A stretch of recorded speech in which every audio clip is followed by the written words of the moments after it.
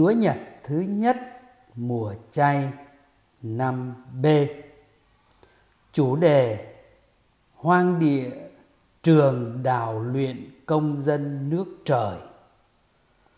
Anh chị em thân mến, một xã hội trọng học vị bằng cấp thường ưu tiên tuyển dụng cán bộ chuyên viên các ứng viên xuất thân từ những đại học danh tiếng có bằng cấp. Quan niệm xã hội đã tác động mạnh mẽ trong nếp suy nghĩ của chúng ta. Các bậc làm cha mẹ cố gắng tối đa tìm trường danh tiếng cho con theo học. Du học mỹ, úc, âu châu hy vọng một tương lai rực rỡ, chào đón sau khi mãn trường. Đầu tư cho con học tập là một chọn lựa đúng đắn, có tầm nhìn chiến lược hoàn hảo. Để lại cho con một rương vàng, không bằng để lại cho nó một cuốn sách, trích danh ngôn tuy nhiên, việc đào tạo phải toàn diện trí dục, đức dục, thể dục, thiêng liêng cùng thực hiện đồng bộ mới dám chắc việc đầu tư của chúng ta không vô ích. Thật đáng buồn tình trạng giáo dục tại việt nam quá chú trọng đến kỹ thuật. Thời lượng là một cực hình, xem nhẹ hoặc không còn giờ cho các việc đào tạo khác, nhất là vấn đề tôn giáo, vân vân. Đó là những lỗ hổng tạo tiêu cực, bất ổn, bạo lực trong gia đình, nơi học đường, ngoài xã hội.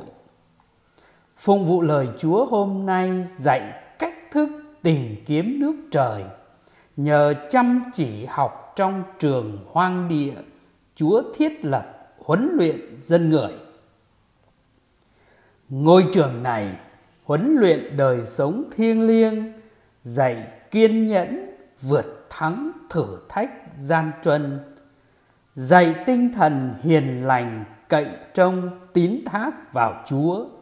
Vì tại nơi đó, nếu lãng quên huấn lệnh ngài con người sẽ gục ngã và thất bại thảm thương.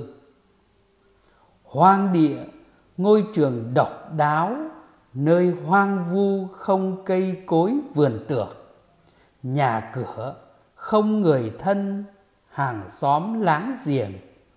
Tức là không có một tiện nghi tối thiểu nào phục vụ sự sống. Hoang địa chỉ có cát đá thú dữ, ma quỷ, tức là chỉ có những khó khăn thử thách, chất chồng, bắt con người phải chiến đấu để tồn tại.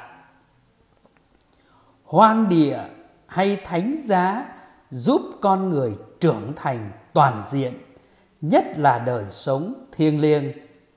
Ai không chấp nhận con đường đào luyện này sẽ không thể là công dân nước trời ai muốn theo ta, phải từ bỏ chính mình, vác thập giá mình hằng ngày mà theo ta. Vậy, trường hoang địa dạy chúng ta những gì? Thứ nhất, dạy vượt thắng thiên nhiên. Người sống trong hoang địa phải chống chọi với thiên nhiên khắc nghiệt sa mạc chỉ toàn cát đá, đêm lạnh thấu xương, ngày nóng như thiêu như đốt, hầu như không có thực phẩm. Người sống trong hoang địa phải chịu đói, khát, chịu nóng, chịu lạnh và mọi thiếu thốn. Dân do thái được chúa đưa vào nơi hoang địa để huấn luyện trước khi đưa họ vào đất hứa trong hoang địa người do thái không chịu nổi những thiếu thốn nên đã nhiều lần nổi loạn chống lại Chúa, chống lại Môse muốn quay trở lại làm nô lệ bên Ai Cập để được ăn no, ngủ kỹ. Trái lại, tổ phụ Abraham đã chấp nhận vượt qua hoang địa nên đã tới đất hứa. Tiên tri Elia đã vượt qua hoang địa 40 đêm ngày nên đã đi đến núi của Thiên Chúa. Và hôm nay Đức Giêsu đã thắng được cái lạnh, cái nóng và nhất là đã thắng được cái đói, cái khát, đã hoàn toàn làm chủ được bản thân trước những nhu cầu của thân xác. Thứ hai, dạy cách thắng ma quỷ. Thiên Chúa cho phép ma quỷ thử thách con người. Ông bà Nguyên Tổ đã bị ma quỷ cám dỗ và đã thua cuộc. Ông Job cũng đã từng bị ma quỷ thử thách, mất hết tài sản, mất hết con cái, mất hết danh dự. Nhưng nhờ tin vào Thiên Chúa, ông đã thắng được quỷ ma. Đức Giêsu thắng vượt mọi cơn cám dỗ ma quỷ bày ra nhờ người vững lòng tin vào Thiên Chúa. Những cơn cám dỗ của ma quỷ thường là cám dỗ về đức tin. A Dong và Eva không vững lòng tin nên đã sa ngã. Ông Job vững lòng tin nên luôn đứng vững trước mọi thử thách gian truân. Đức Giêsu luôn vững niềm tin vào Cha trên trời nên đã chiến thắng mọi cơn cám dỗ. Thứ ba, dạy từ bỏ ý riêng. Nguyên tổ đã tìm ý riêng hơn ý Chúa nên đã đi trạch đường. Đức Giêsu luôn tìm thánh ý Cha, người đã bỏ con đường rộng để đi vào con đường hẹp.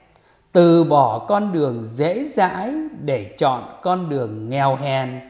Từ bỏ con đường riêng tư để đi vào con đường cha đã định. Người đã toàn thắng mọi thử thách cám dỗ. Thế nhưng hoang địa cũng không phải chỉ là nơi thử thách. Nó còn là nơi gặp gỡ chúa. Sau khi đã thắng vượt tất cả các cuộc thử thách, ta sẽ gặp được chúa, sẽ sống thân tình với ngài và sẽ hoàn toàn thuộc về chúa. Ông mô-xê sau 40 đêm ngày trên núi Sinai đã trở nên bạn nghĩa thiết của Chúa. Mặt ông trở nên sáng láng đến nỗi dân Do Thái không dám nhìn thẳng vào ông. Tiên tri Elia sau khi đi 40 đêm ngày đã tới núi của Chúa và đã được gặp Chúa. Đức Giêsu đã gặp gỡ Cha, đã tìm được ý Cha và đã kết hiệp mật thiết với Ngài. Đến độ từ nay Ngài thuộc trọn về Cha.